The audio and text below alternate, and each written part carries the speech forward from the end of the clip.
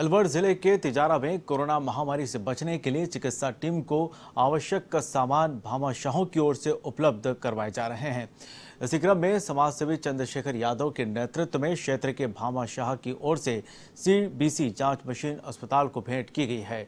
इस दौरान उपखंड अधिकारी खेमाराम यादव, डीएसपी कुशाल सिंह, थानाधिकारी जितेंद्र नावरिया मुख्य ब्लॉक चिकित्सा अधिकारी डॉक्टर रविंद्र कुमार, अस्पताल प्रभारी डॉक्टर हिम्मत यादव मौजूद रहे। आपको बता दें कि भामाशाह की ओर से पहले भी अस्पताल को साढ़े चार लाख की एंबुलेंस दी गई थी।